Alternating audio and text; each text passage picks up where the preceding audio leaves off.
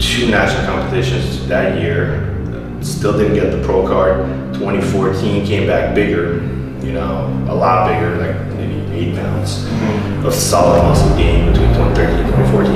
Uh, ended up getting third at the junior uh, nationals, which is this show. Then uh, that? frustrated, one spot away from pro card.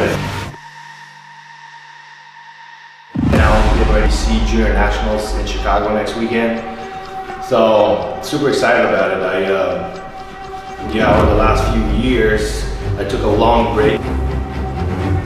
The whole pro card thing was always something that I wanted to get, just because I feel like it's, uh, it's just like a thorn that's eating at me over these years. You know, it's like I just want to get it. I,